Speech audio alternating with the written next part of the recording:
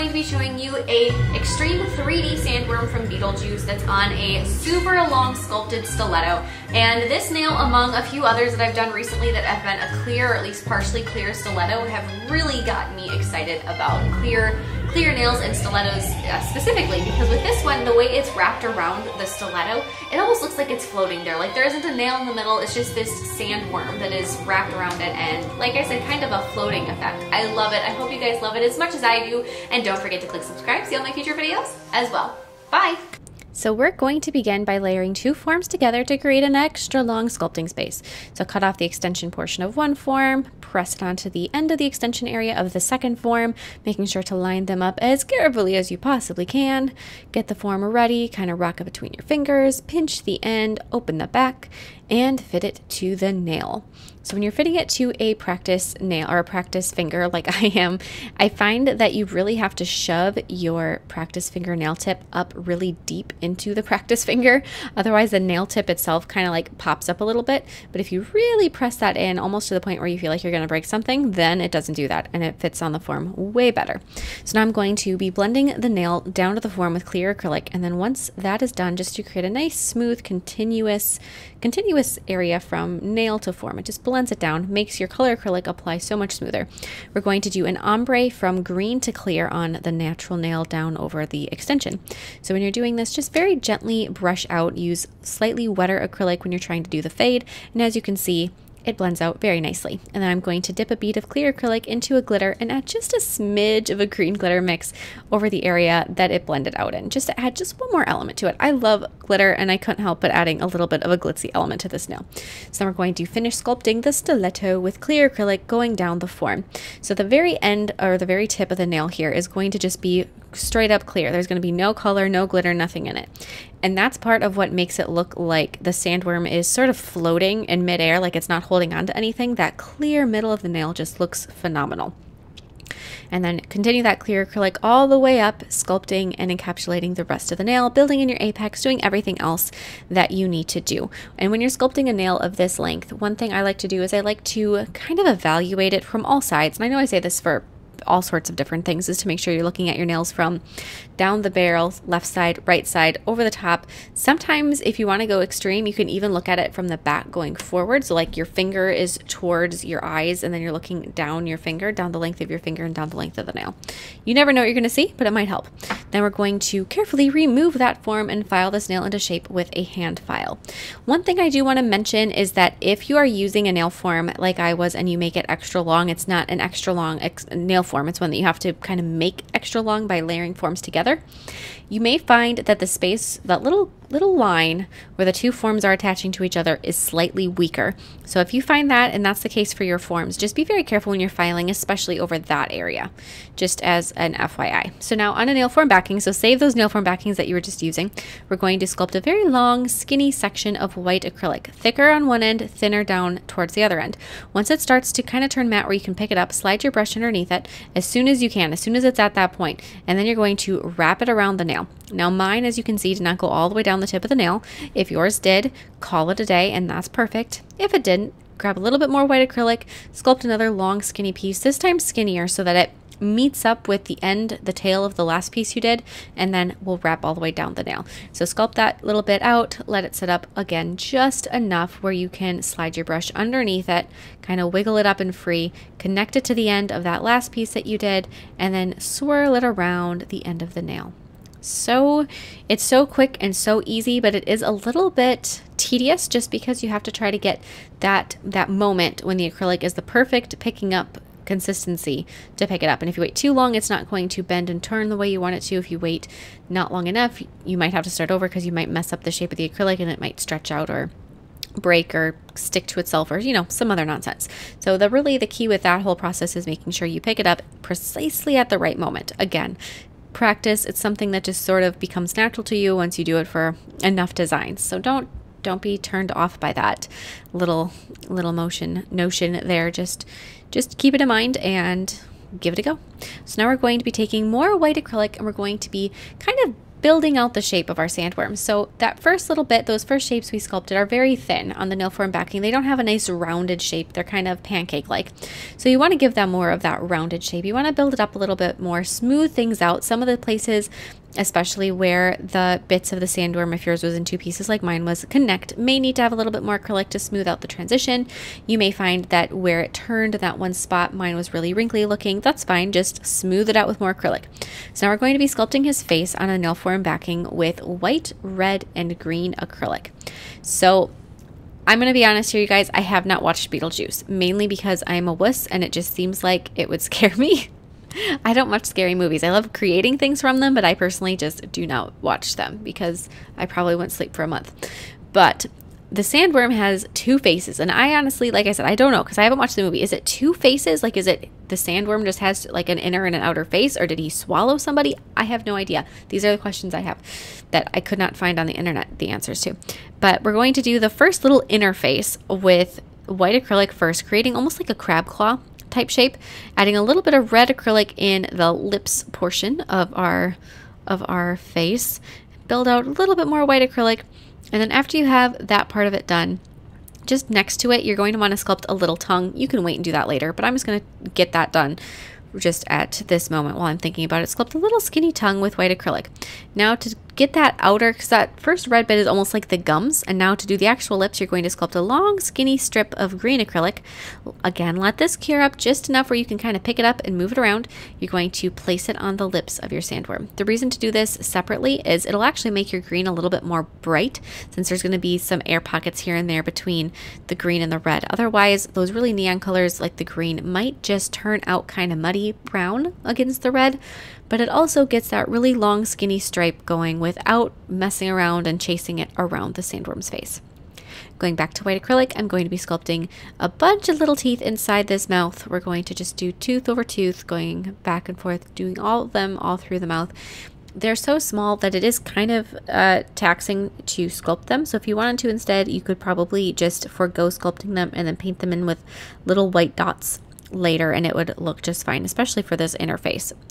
So once you have all of those little teeth done, when you get to that point, the next thing you're going to do is you're going to sculpt the outer portion of the face. So take white acrylic again and you're going to sculpt essentially a petal shape. It's just like if you're doing doing a flower. So you're going to make this, this sort of petal shape a little flatter on one side than the other. And then let that set up just enough and then wrap it around the inner face. It's so weird, and this particular step is extremely awkward and one that doesn't go, I don't know. It's one of those things where it does work, but I feel like there's probably a better method of sculpting the outer face where you want it to actually be 3D and like around it. One I could not come up with in the process of making this, but even though it does work, it just feels a little bit a little bit uncomfortable sort of or awkward. Like it doesn't quite want to go where I tell it to go. But we're going to do it anyhow. We're going to sculpt the second part of the face on the nail form backing doing it just so that it's that one's a little bit smaller and actually the first one I did I thought was a little bit big so I went through with a manicure scissors and you'll see that I'll cut it in just a second. But before we get to that point you want to just sort of smooth out the transition from the two parts of the face together in the back with a little bit more white acrylic so that it isn't quite so lumpy or fragile. It'll just secure it together. But now we're going to be sculpting all of the little teeth on the nail form backing and it's a white acrylic against a white nail form backing and you basically can't see it but just sculpt multiple little triangles little teeny tiny triangles for the teeth that are going to be on the outer section of the face.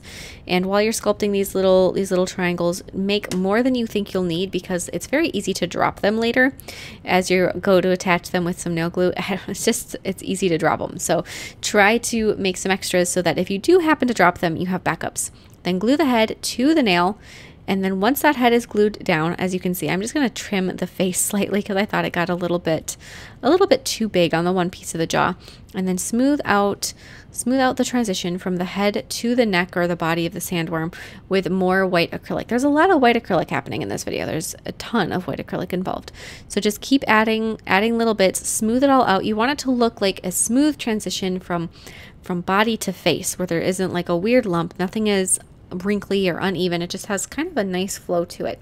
So add that little bit more of white acrylic wherever it needs to be, whether it's down the whole face, just on the neck, just a little bit on the head, wherever wherever you're looking at it and you just think it needs to be fixed up slightly. I'm going to go back through and trim that mouth open a little bit further. If that line, if you do happen to trim yours like I did, if that line isn't perfectly smooth, it does get, the sandworm does get a lip later, so that'll cover it up. Just try to get it to be about the right shape. Sculpt the little fin coming off the back, almost like a little shark fin. And then once you have that shark fin sculpted, then you're going to glue in your tongue and teeth. So I'm first going to glue the tongue in, and then I'm going to grab all of those teeny tiny little teethies that I made, and I'm going to glue them into the outer portion of the sandworm's face. Like I said, this part is really quite tedious and easy to sort of drop stuff and glue the tooth to your tweezers instead of gluing it to the nail or whatever kind of malfunction will go wrong. It could. What I would do, and this is what I did do, is I would put a little bit of nail glue on your nail form backing as like a just like a little puddle. One drop is is enough, and then pick up a tooth with a tweezers. Use a pointy tweezers, not a flat sided one, and then dip the the root of the tooth into the nail glue, and then place the tooth. If you try to either brush nail glue onto the tooth or put nail glue onto the sandworm's face and then set the tooth into it, you're going to get way too much glue and it's going to glue everything to your tweezers and that's going to be a mess. So you want to try to just dip the very minimal amount of glue onto each tooth. And this hold might seem like it'd be really weak just because it's a tiny bit of nail glue that you're using. And that's fine because we're going to secure everything together with some more white acrylic in a second. This nail glue extravaganza is just to get the tooth there long enough that you can put some acrylic on it, which is what we're doing now. So we're going to, and as I was putting acrylic on the one tooth, it decided to bend and move a little bit. But we're going to secure all of them together with more of that marvelous white acrylic. Like I said, lots of white acrylic involved in this design. So we're just going to go down each tooth. It does doesn't take much, a tiny little bit of acrylic just to make sure each tooth is stuck where it's supposed to be stuck. And then once you are done with that, there is one element that is kind of missing on our sandworm. It doesn't have any eyes. So I'm going to go in with red acrylic and I'm going to be sculpting our sandworm's eye. So the red acrylic I'm using is just a really nice bright one. The brighter the acrylic, the better for this case you just want it to have you know just a nice nice little eye sculpted and you don't do too much too much detail there. You can keep it pretty simple. And then like i said our sandworm does have another set of lips on the outer portion of the face. So we're going to take our bright green acrylic yet again and we're going to sculpt that other lip. This is the same green acrylic by the way that i used for the background of the nail keeping it all nice and matchy matchy. Pick up that lip place it on mr sandworm's face tuck it in on the back and then do it for the lower lip. Unlike the first face where I did one one section of lips for like the whole perimeter of the face. I'm going to do this one in two sections just so that it is a little easier to control because it's so much longer. It needs to be so much longer. It would just be a, you know, it's a little bit more difficult to get it to move exactly how I want it to and stay where it goes before it cures. So I'm going to pick up this next worm, or not worm, this next section of the lip and set it down cut off the extra. That one cured up a little bit more than I wanted it to, so it didn't stick as well as it could have, so I just secured it with a little bit more of the green acrylic. Now we get to do the part that I really think is the fun part because right now he looks so, so kind of plain and he's got that really intense black and white stripe. So we're going to get to paint him now. I'm going to first start out with some gray acrylic paint and I'm going to add just a little bit of a shading around him. So leaving certain areas nice bright white, kind of bringing some gray tones into different areas of the kind of focusing on the outside edge and making it lighter in the middle even going back through to some white paint and brightening up the middle if it needs it. Here and there, you can kind of keep it um, as simple as you want or go as detailed as you want with the shading. I'm going to do some darker green outlines around the lips, add some yellow on the inside set of teeth, and then some black and white stripes on the outer set of teeth, black and white stripes on the tongue, and then you're also going to have to add the black and white stripes down the entire worm.